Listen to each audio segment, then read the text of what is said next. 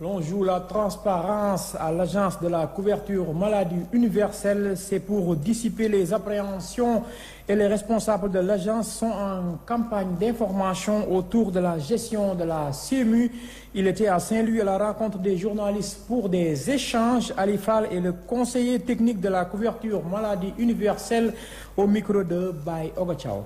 Euh, on a senti depuis quelques années euh, que l'État du Sénégal, euh, après avoir mis en place cette agence, n'a jamais cessé d'accompagner le programme. Alors, beaucoup de milliards ont été injectés dans le programme. Et à chaque fois, malheureusement, certains considèrent ou bien assimilent la CMU à des dettes.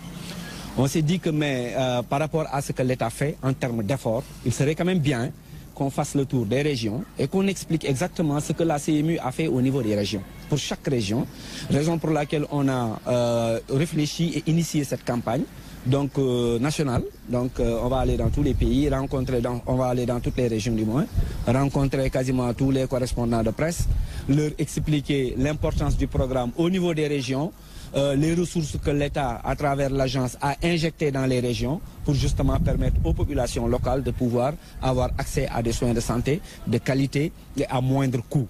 Raison pour laquelle, donc, après l'étape de Dakar, on a jugé nécessaire de venir ici à Saint-Louis, partager, euh, avec vous donc, ces efforts de l'État, parce que vous n'êtes pas sans savoir que depuis que l'agence a été créée, beaucoup de milliards ont été injectés et souvent les gens parlent justement de ces milliards-là.